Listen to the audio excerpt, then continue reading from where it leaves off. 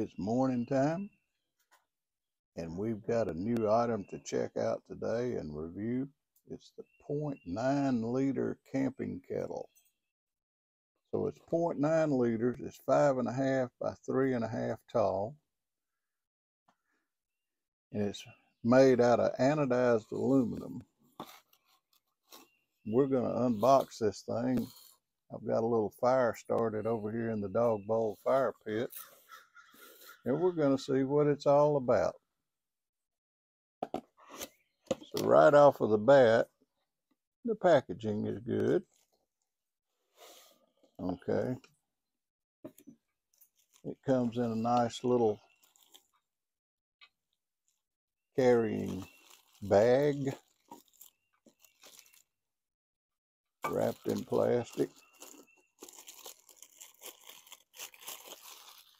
The lid is plastic itself and it has a vent hole so I guess pressure won't build up but how could pressure build up if you're relieving pressure through the spout? So that's a good question but I guess the engineers thought that was the right thing to do.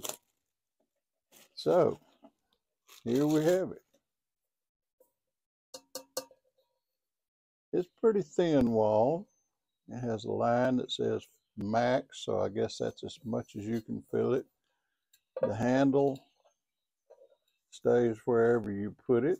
And the handle is wrapped with plastic, I guess so you don't burn yourself. And it has a little pour spout. Not a very big one, but I guess for a kettle this size you don't need one. And there we have the logo, Red Camp. Now, I was looking at the outside of the box, and I took it out earlier, and I didn't find any instructions. And I said, why would they send something and not have instructions? Now, this is crazy. Here are your instructions on the box. It tells you that you can use it on this type of stove. You can use it on this type of stove or this type of stove or this type of stove. But if you look really close, it says, oh no, don't hang it over a campfire. Well, it didn't mention anything about that in the description on Amazon. And that's what I intend to do with it, is use it on a campfire. Matter of fact, you can see my fire going back there in my dog bowl fire pit this morning. That's exactly what I'm fixing to do with it. I'm going to let that fire burn down to some coals. And we're going to see if we can boil some water in here and make some tea. How about that? I'll be right back after I go wash this pot. Okay, we got some good coals burning in the dog bowl fire pit. Put my little cooking grate on top of there. Got some good coals in the fire. Let's put the red camp on there. See what happens.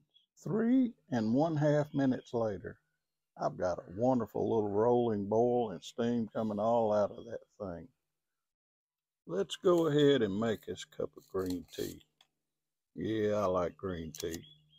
And I like it straight up, just like I like black coffee. So we'll grab this. Okay. The plastic on the handle works very well. There's our boiling hot water.